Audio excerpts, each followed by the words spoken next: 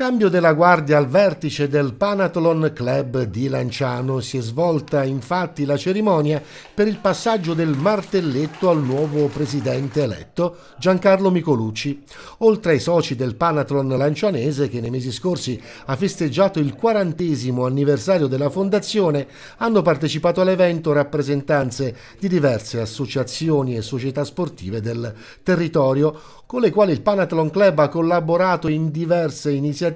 nel corso degli anni e che sono state premiate per il loro impegno nel mondo dello sport. Nel suo discorso di insediamento, il neopresidente ha ringraziato il suo predecessore Dante De Vincentis e poi ha ricordato lo scopo del Panathlon, quello di promuovere l'affermazione dell'ideale sportivo nei suoi valori morali e culturali come mezzo di formazione e di crescita della persona, ma soprattutto solidarietà tra gli uomini e i popoli. Poi la classica cerimonia di passaggio del martelletto e tante iniziative, tanti i progetti per l'immediato futuro.